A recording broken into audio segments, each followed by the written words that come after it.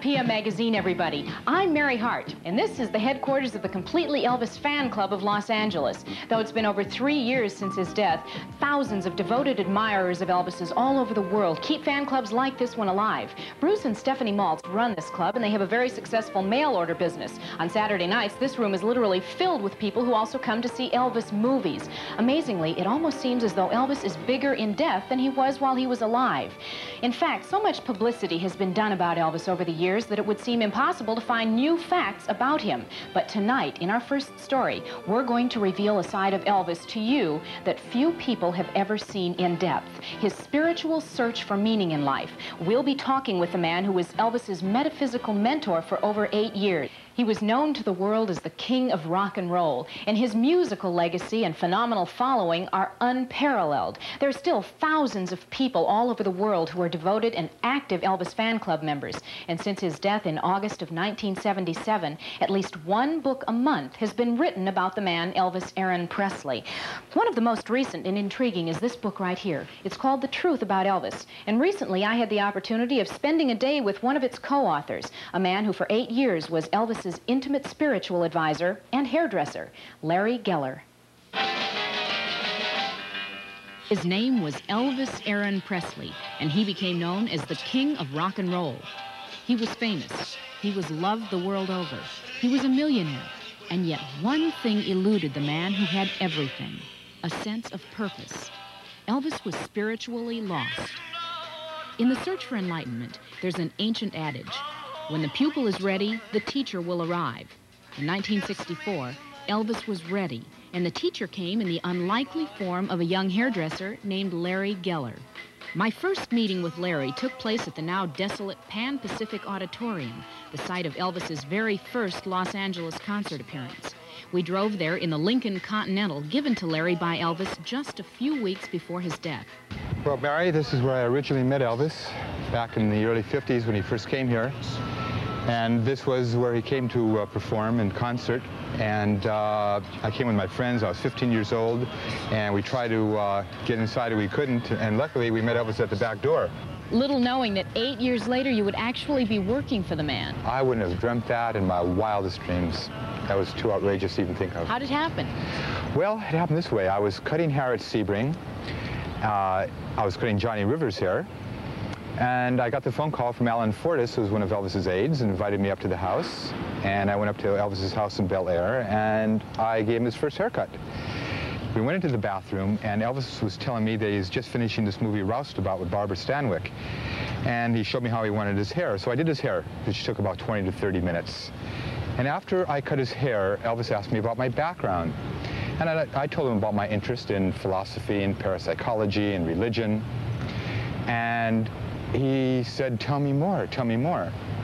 And then the conversation got deeper and we started talking about the meaning of life, the purpose of existence. Why are we here? Where are we going? Where do we come from? And the conversation went on for about three or four hours and I told Elvis there's, a, there's books I could give him.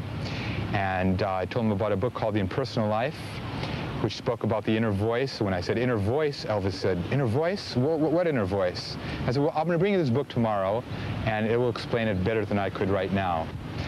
As I was driving home, I thought to myself, my Lord, I'm going to give him the impersonal life, which is a very deep spiritual book. And this is before the reborn movement, before uh, the Beatles and the Gurus, before Scientology, before, before all that business. So what I'm saying is in those years, it was very different and very strange. And I didn't know how Elvis was going to accept all this. Well, I, I knew that I had to give him that book. And and that's exactly what I did because I felt, look, here's a man that's, he's an important person, he's a beautiful soul, obviously.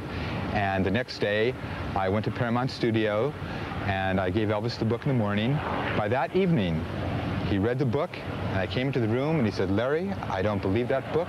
This has answered so many things for me. And that's how it all started with Elvis and the books. Is the Bodhi tree. After that initial meeting with Elvis, Larry Geller spent many hours here searching for various books for Elvis to read. He read books on all major religions.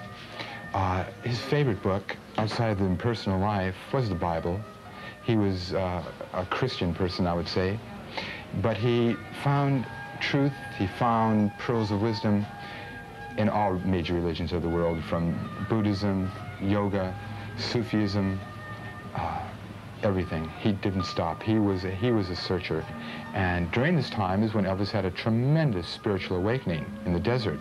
He saw a vision in the clouds, the face of Christ, and that really changed his life. After that, he said, I'm not a believer anymore. I don't have to believe. Now I know, because I was touched. Right after that is when he did his first of his greatest gospel albums, How Great Thou Art.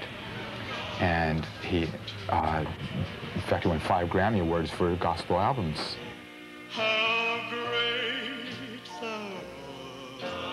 Despite his successful venture into religious music, Elvis remained dissatisfied with his life and embarrassed over his frivolous film career. The long hours he spent reading and meditating with Larry eventually led to resentment and suspicion among the Memphis entourage of friends and traveling companions. Uh, there was tension, and um, it got to, a, it, it built up. And behind Elvis's back, the, a few of the guys would call me, oh, they would say, here comes the Swami, here comes the mystic here comes this, here comes that.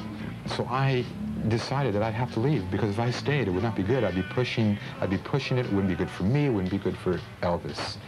And I knew that if I left, that I would return someday. It's inevitable. The circle would be completed. Larry and Elvis went their separate ways for seven years. Then, in 1972, they were happily reunited backstage after one of Elvis's record-breaking Las Vegas engagements. It was an incredible moment. And we went upstairs, and we walked, Elvis and I walked into a suite, and the first thing that I saw were 50 or 60 books on the floor, not new books, all the old books that I gave him, worn and dog-eared and used, used, all on the floor. And in a moment, I realized, oh my God, he did it. He stayed with it. He's his own man, and he, he's, uh, he wasn't influenced, and now he knows. That was a beautiful moment when I saw those books. Do you think Elvis had a premonition of his own death? It's perfectly clear to me that he did, and he even mentioned it to me and a few other people at various times. And I remember one night, um, this is a few months before he died, and he mentioned to Kathy Westmoreland, who uh, sang with Elvis. He said, you know, Kathy, I know what some of the people are thinking, what the fans must think. They see me out there, and they think I'm fat. But I'll tell you one thing, I'm going to look good in my coffin. And he did. It's hard to describe, uh, but there was a certain peace, and you could see that it was supposed to be this way. It was destiny.